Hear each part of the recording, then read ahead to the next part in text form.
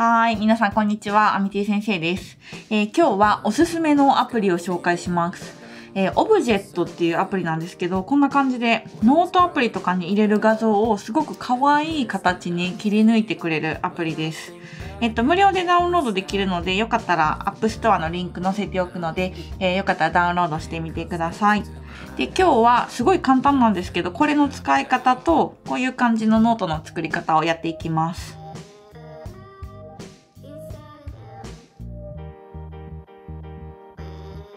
はい。で、このオブジェットですね、開くと、こんな感じの画面になってます。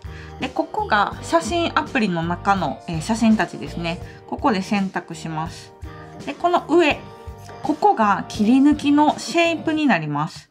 例えば丸やったら普通のこういう丸ですね。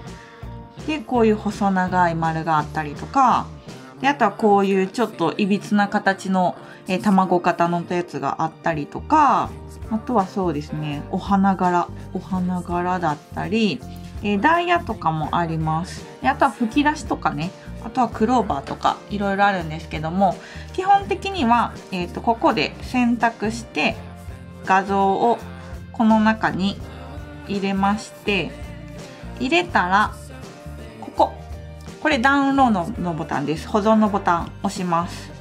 で、そうすると、ここに新しい画像が保存されました。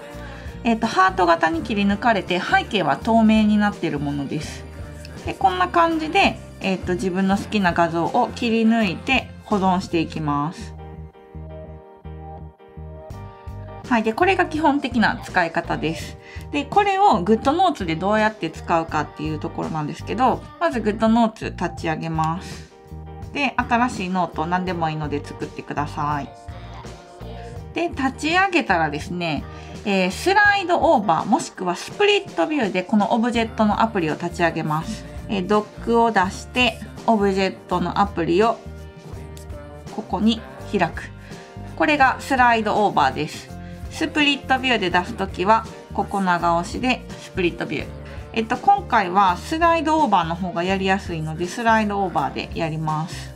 で、えっと、例えばですけど、画像を選択して、好きな形を選びます。で、サイズ整えて保存ボタン。で、保存ボタンを押したら、ここに、えー切り抜かれた画像が出てくるので、これを長押ししながらドラッグドロップで GoodNotes の方に持ってきます。で、そうすると、こんな感じで切り抜かれて背景が透明になったやつがここに出てきます。で、こうやって切り抜いてあげるとめちゃくちゃ可愛くなります。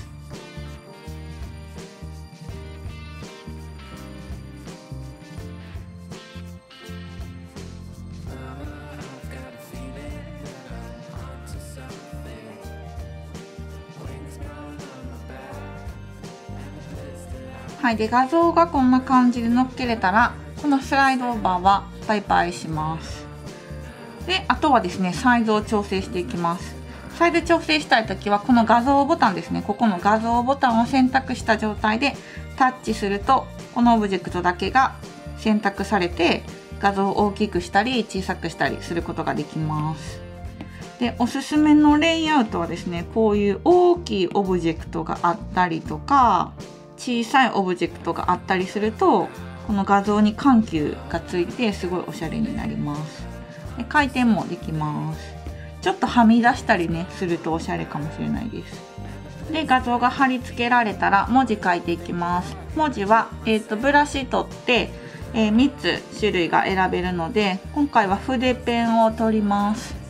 で、真っ黒だとね、ちょっと濃すぎるので、ちょっと茶色い、濃い茶色とか選んであげると雰囲気が出ると思います。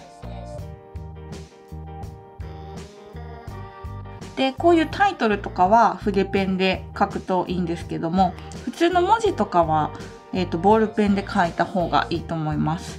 全部が全部筆ペンとかね、太めのやつで書いちゃうと、えっ、と、ちょっと暑苦しい感じになるかなと思います。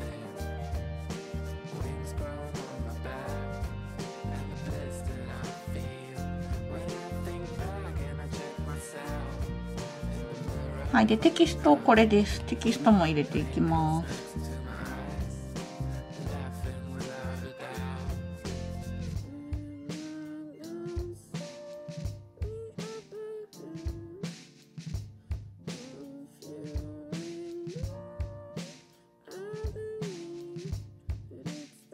はい、こんな感じで完成になります。いかがでしょうか？えっ、と、文字はね、すごいシンプルなんですけど、こういう画像の切り抜きを工夫するだけですっごく可愛いおしゃれノートに仕上がるので、ぜひ試してみてください。えっ、と、今日使ったのはオブジェットですね。えー概要欄にリンク載っけておくので、よかったら見てみてください。で、えっと、最近ですね、アミデ先生、えー iPadMate Kids っていう、えー京都で iPad のクリエイティブスクールを立ち上げたんですけれども、えーかなり好評でですね、今もうほぼ満席状態になっております。えっ、と、よかったらですね、この iPad テラコや iPadMate Kids の詳細はですね、えー YouTube 出してますので、よかったらこういうの気になる人は見てもらえると嬉しいです。で、全国のキッズたち、えーよかったらですね、無料体験やってますので、えっ、と、概要欄の iPadMate Kids のリンクからですね、ぜひ、あの、無料体験応募してもらって遊びに来てもらえると嬉しいなと思います。はい。ということで今日はこんな感じで終わりにしたいと思います。次回の動画もお楽しみに。バイバーイ。